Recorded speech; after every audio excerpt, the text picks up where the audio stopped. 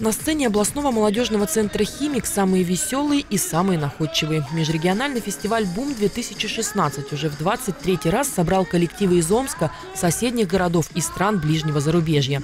И прежде чем представить свои номера в финале форума на гала-концерте, их тщательно отбирала опытная жюри, обладающая исключительным чувством юмора.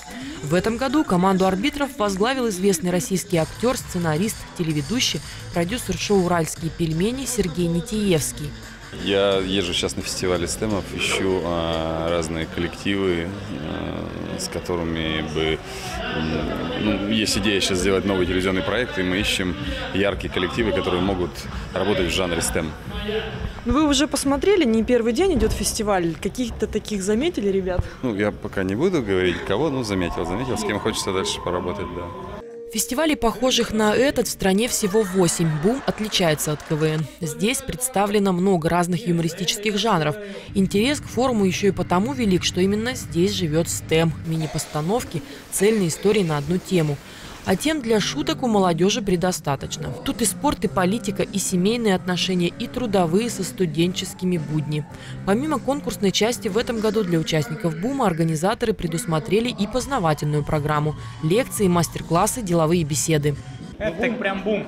Бум прям бум. Прям классно, реально много интересного. Нас там научили всякие театральные штуки делать. Мы теперь развиваемся в этом направлении. Будем... Ну, короче, будет интересно, классно команда КВН «Жигит». И, наверное, скоро в наших э, выступлениях команд КВН появится больше драматургии, как нас просят. Э, надеемся. Мы этому очень хорошо обучились.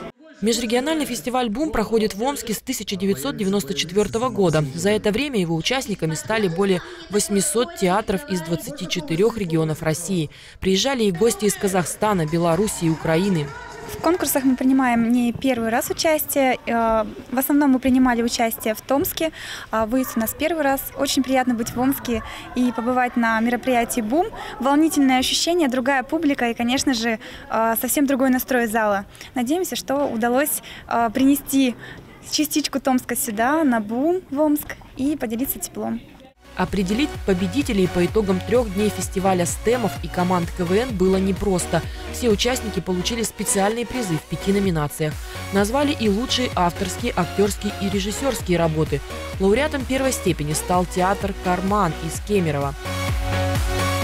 Второй степени – коллектив «Овация» из Красноярска. Ну и почетное третье место у хозяев. Стем Винегрет получает диплом лауреата.